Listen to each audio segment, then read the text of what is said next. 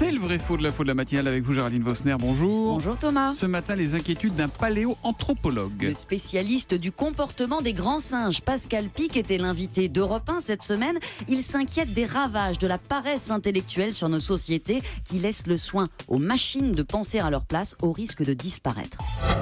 Aujourd'hui, je suis désolé, les indices sont très inquiétants sur la perte de quelques années d'espérance de vie. À part la France et l'Italie, presque la plupart des pays régressent.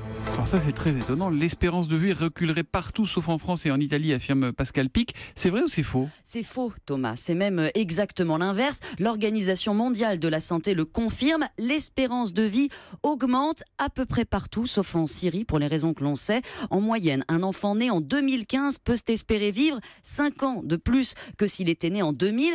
Et c'est vrai sur tous les continents. Hein. Le niveau de vie s'améliore, on progresse contre les maladies infectieuses, les maladies chroniques, on prévient mieux les problèmes cardiaques, les cancers. Alors évidemment, au Japon, on vit toujours 33 ans de plus qu'au Sierra Leone, mais non, l'espérance de vie ne décline pas, elle mmh. va au contraire progresser encore dans les 10 ans qui viennent. Alors, euh, Pascal Pic est un monsieur très sérieux. D'où vient cette perception que ça régresse? Alors, de quelques facteurs préoccupants qui ternissent cette vision d'ensemble. Ce qui se passe aux États-Unis, d'abord. C'est le seul pays développé dans lequel l'espérance de vie a légèrement reculé en 2015 d'un petit mois, mais c'est dû à des problèmes inhérents à cette société. Des inégalités dans l'accès aux soins, donc les mortalités infantiles, maternelles mmh. augmentent, morts violentes, obésité, et un groupe spécifique est touché, les hommes blancs pauvres de plus de 50 ans, les plus frappés par la désindustrialisation, en fait, qui se réfugient dans l'alcool et dans la drogue. Donc notre perception d'un mieux est brouillée. Et plus largement, un autre indicateur est intéressant quand on parle d'espérance de vie,